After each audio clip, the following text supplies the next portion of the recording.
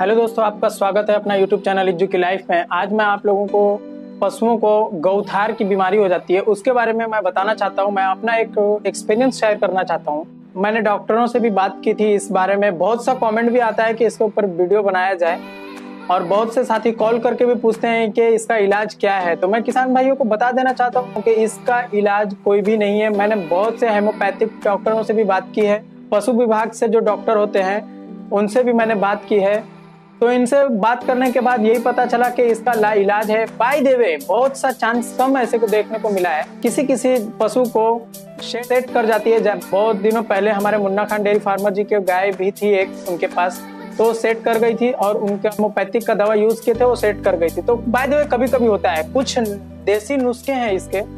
उससे पहले मेरे चैनल पे जो फ़र्स्ट टाइम आया है, वो सब्सक्राइब करना ना भूलें। साथ में बेल आइकन भी दबाएँ ताकि हमारा नोटिफिकेशन आपको मिलता रहे। वीडियो अच्छा लगे तो लाइक एंड शेयर करना ना भूलें। तो चलिए देखते हैं।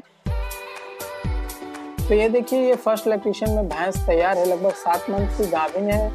फिफ्टी परसेंट ये मुर्रा है। इसकी माँ को सेवन दिया गया था, मुर्रा नस्ल का। तो थोड़ी बहुत इसको परसेंटेज आया है। तो ये आप देखिए, इसको देसी तरीके से बांधा गया है। ये आता है, इस तरह से आप बांधने से एक पिसाब के रास्ता और पिखाने के रास्ते से एक गैप बन जाती है, ताकि सिर्फ़ लोड ना पड़े, इसका बैठ जाने से लोड पड़ जाता है। लोड पड़ने की वजह से ये गौथार जो है वो बाहर आने लगती है। तो ये प्रॉब्लम होता है। तो इसका दूसरा इलाज आपको सबसे पहले तो आप इस तरह का बाँध दें। दूसरा, आप जहाँ पे ये आप इस बैठती है, जैसे खाने के बाद बैठती है तो आगे का पोर्शन को आप थोड़ा सा डाउन कर दें। ताकि बैठने के बाद एक इसके बैक साइड से प्रेशर ना बन पाए और ये थोड़ा सा डाउन में रहे। ज़्यादा हार्डली इसको आप एक बिट्टे से माप कर लगभग छः से सात इंच का डाउन करें ताकि इसको ज़्यादा प्रेशर भी ना आए और इस तरह का बैक साइड में प्रेशर ना आए और आगे की तरह लूज कर ये खड़ी रहे।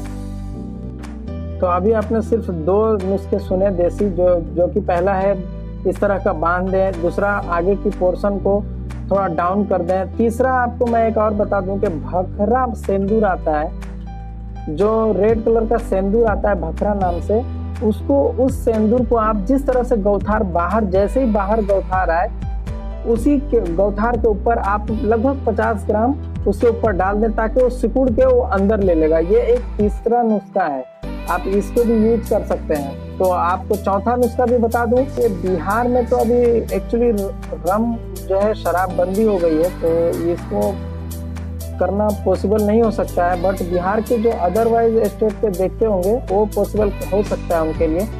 तो उनके लिए पॉसिबल होना ये है कि रम को या फिर शराब को जो भी हो, जिसमें अल्कोहल हो, उसको ले लें, हाथ में थोड़ा सा ले लें और उसके नाखून से ऐसा छिट दें। जैसे ही गौथार बाहर आए उसके ऊपर छिट जाए। ज़्यादा ना छिटे नहीं तो बहुत नुकसान हो सकता है।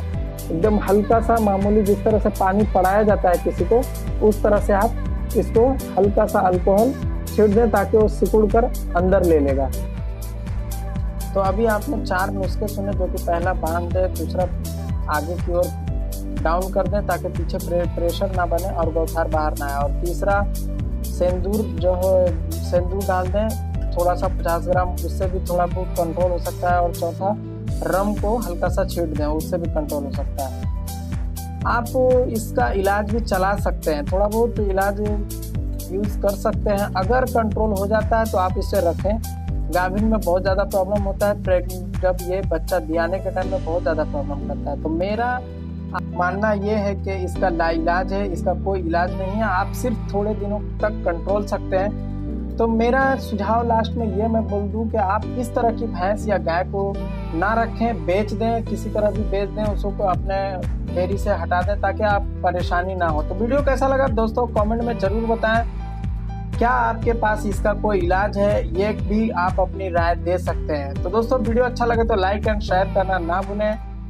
थैंक्स फॉर वॉचिंग फिर मिलेंगे